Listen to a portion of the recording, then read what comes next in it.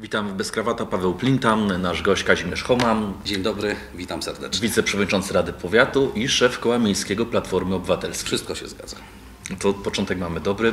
Pierwsze pytanie. Odnoszę takie wrażenie, że jako wiceprzewodniczący Rady Powiatu pan się nieco nudzi, czy tak wycofał się pan wręcz ze swojej aktywności. Pan był znany w Radzie Miasta.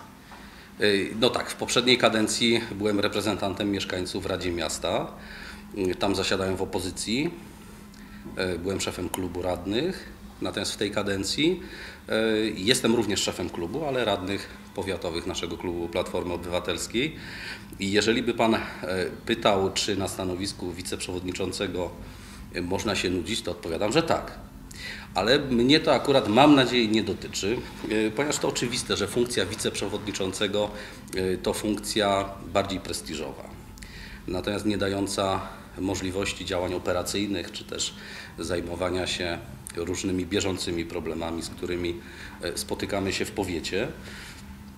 Y, A tak naprawdę to odpowiedź na to pytanie y, powinna dążyć do określenia, jak każdy z nas, polityków, samorządowców, odpowiada sobie na pytanie, czym dla niego jest uprawianie polityki.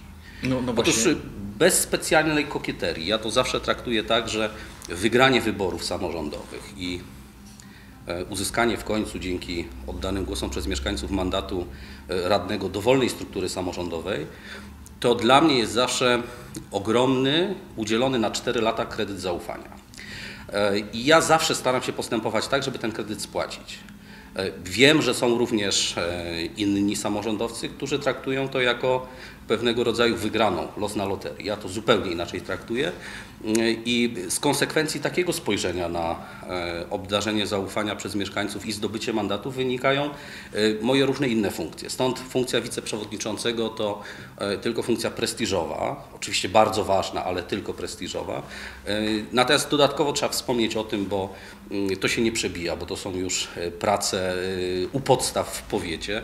Jestem członkiem dwóch komisji, Komisji Budżetu, w której jestem również zastępcą przewodniczącego. E, Jestem członkiem Komisji e, Oświaty, Kultury i Sportu.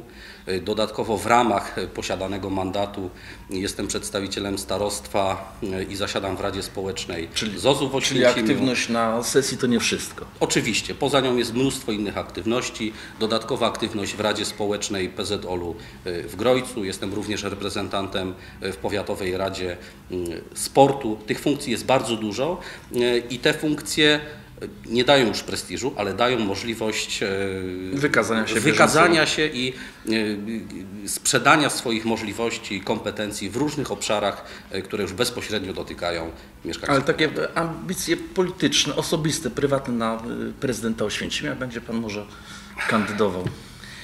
To kolejne bardzo dobre pytanie.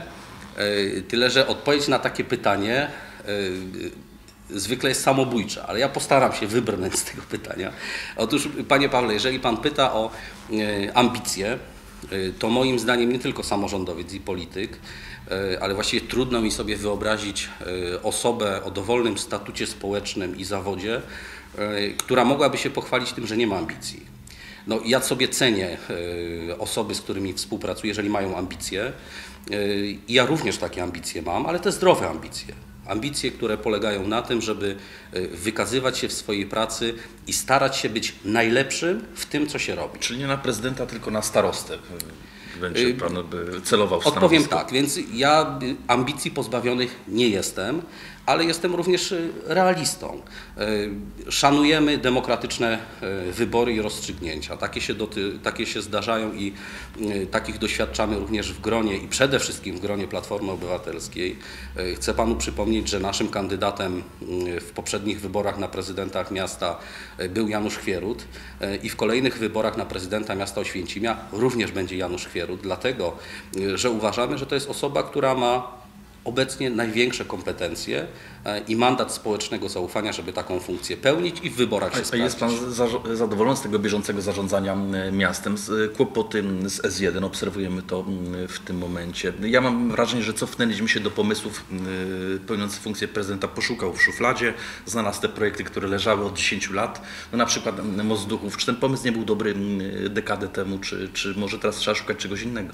Odpowiem zupełnie szczerze, bo tak to traktuję. Zadowolenie dla samorządowca jest uczuciem prowadzącym chyba na, na manowce. No, my jesteśmy y, w takiej sytuacji geopolitycznej, społecznej, y, w sytuacji obecnej dekoniunktury gospodarczej, y, że właściwie zadowolonym tak do końca nie można być z żadnego projektu. No, inaczej gdzieś to zadowolenie chyba jednak zawsze przedkłada się nie tylko w samorządzie, ale i w pracy zawodowej y, na to, że przestaje się aktywnie szukać najlepszych rozwiązań.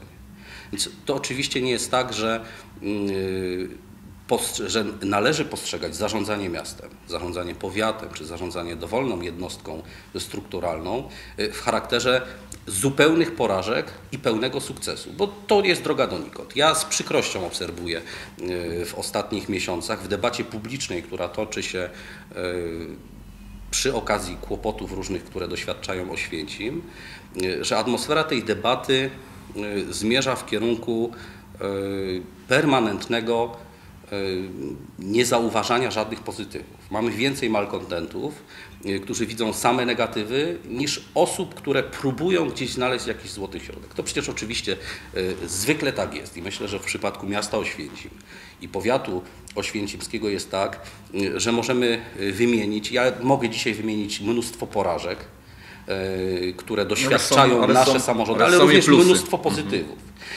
Ale warto zawsze w takich dyskusjach skupiać się nad ko- konkretnym problemem. A tu rozumiem, że tym problemem, o którym y, rozmawiamy, to jest droga S1. To niewątpliwie ogromny problem. Y, Chyba jednak nie może być traktowany w kategoriach porażki samorządowej. Y, Trzeba popatrzeć na to, co się dzieje w okolicy. Dla mnie osobiście to jest pewnego rodzaju zdarzenie przykre, że wszystko wskazuje na to, że y, w boju o S1, bo trzeba to traktować w, charakterach, w charakterze y, boju o to, żeby S1 powstała, bo przecież tych dróg ekspresowych na terenie kraju y, ma powstać tyle, że naprawdę trzeba walczyć o to, żeby w Oświęcimiu czy na granicy Małopolski Zachodniej i Śląska powstała ta S1 w pierwszej kolejności, a nie w ostatniej na przykład, albo w ogóle, żeby Ale, nie a czy, powstała. ale czy w ogóle jest sens jeszcze o, o, o rozmawiać o S1, bo takie odnoszę wrażenie i czasami samorządowcy już to mówią w rozmowach nieoficjalnych, że S1 jest sprawą e, przegraną i m, po prostu nie powstanie. Jak powstanie to lat za 20? Czy dożyjemy, czy warto się w to Ja myślę, że my jesteśmy w tej chwili w kulminacyjnym y, momencie, jeżeli chodzi o y, plany i decyzje co do S1. Otóż trzeba zauważyć to, co wydarzyło się w ostatnich tygodniach, czy nawet w ostatnich dniach. Y, Publicznie ukazały się stanowiska y, posłów y, reprezentujących y, Prawo i Sprawiedliwość, które poddają wątpliwość e, przebieg S1, czy też sam fakt e, budowy tej S1 z uwagi na to, że godzi ona w interesy e, mieszkańców gminy Brzeszcze. E, Myślę, że to zbyt szeroko powiedziane, ale godzi w, interesy części tych mieszkańców związanych przede wszystkim z możliwością ograniczenia e, funkcjonowania kopalni. Więc jak rozumiem, również e, Rada Miasta Brzeszcze podjęła e, stosowne uchwały w tym zakresie dotyczące mm, no, wycofania się generalnie z poparcia przebiegu S1 po terenie gminy Brzeszcze. I muszę powiedzieć szczerze, że ja rozumiem te obawy. No, ale to nas nie zwalnia z obowiązku tego, żebyśmy tym bardziej aktywnie zabiegali jako samorządowcy ziemi oświęcimskiej, czyli powiatu oświęcimskiego i miasta Oświęcim, o to, żeby nie stracić Żeby znaleźć jedynej środek, szansy. tak? Znaczy, to nawet nie chodzi już o złoty środek, bo tak naprawdę, e, Panie Pawle, Szanowni Państwo, czy droga S1 będzie przebiegała trochę bliżej miasta, czyli po terenie Małopolski i naruszała interesy różne, czy też będzie przebiegała trochę dalej, czyli za Wisłą po terenie Śląska, tak naprawdę, jeżeli chodzi o dostępność komunikacyjną, e, to są to rozwiązania, które możemy przyjąć w Kluczowe różnych jest wariantach. dojazd. Kluczowy jest dojazd do tego. No cóż nam z drogi S1, jeżeli się okaże, że nie będziemy mieli tak zwanej obwodnicy czy łącznika do S1 prowadzącego bezpośrednio z Oświęcimia. Jest- I tu się bardzo y, cieszę, że w tym obszarze aktywne e, zabiega, zabiegi o to, żeby ten, e, żeby ten łącznik pozostał, czyni i prezydent miasta, e, i starosta. Cieszę się również, że nie mamy w tym zakresie przeciwnika w osobie dyrektora Państwowego Muzeum Auschwitz. Birkenau, e, bo publicznie gdzieś pan dyrektor, pan Stwierdził, dyrektor że inwestycja taką- że inwestycja go interesuje oczywiście. Dojazd do muzeum, tak. Również dojazd, dojazd z S1 Panie Kazimierzu, ja troszeczkę zmienię temat, wrócę do, do PO. A nie odnosi Pan czasem tak, takiego wrażenia, że PO i w, i w mieście, i w powiecie ma trochę za dużą władzę? Czy to nie jest taka monokultura, która no, nie skłania do aktywniejszego działania? Tak, y, y, mówiąc y, humorystycznie, to odnoszę wrażenia, e, że mm, najwięcej kłopotów z tego tytułu e, mają dziennikarze.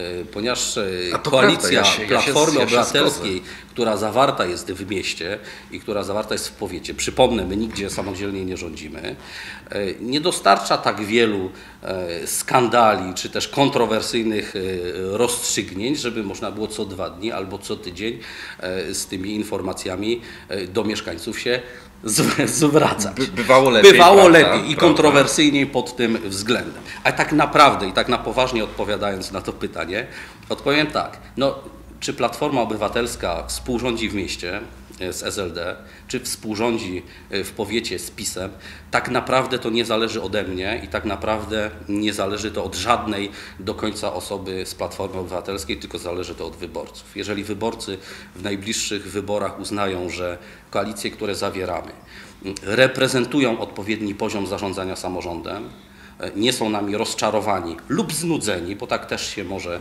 e, zdarzyć, e, to to będzie ostateczną odpowiedzią, czy te koalicje i czy Platforma Obywatelska sprawdza się w zarządzaniu miastem i powiatem. E, Ten egzamin będzie już niedługo w przyszłym roku w wyborach samorządowych. Mam nadzieję, e, że ten powiat, że ten egzamin zdamy pozytywnie, do czego wszystkich mieszkańców Oświęcimia Ja, zachęcam. ja jeszcze nawiążę w takim razie do skandali. Jak gdyby pański kierowca zaparkował na miejscu dla niepełnosprawnych, jakby się pan zachował w tej sytuacji? Y, Po pierwsze nie mam kierowcy. Y, Jestem sam. No wyobraźmy kierowcą, sobie, że jest pan starostą. Więc y, ja na. y, Zresztą tak jak i starosta, ja nie parkuję na kopertach dla niepełnosprawnych, bo wiemy, że, że uczynił to kierowca. Nie chcę rozwijać tego tematu, bo powiedziano już bardzo dużo, powiem tylko tyle. Myślę, że wyjaśnienia, które padły w tym zakresie, były zbyt szczegółowe, zbyt daleko idące. Jeżeli już miałbym odpowiadać, co ja bym zrobił, powiedziałbym przepraszam i zamknął, i zamknął sprawę. Dziękuję bardzo za odpowiedź. Do widzenia. Dziękuję, do zobaczenia.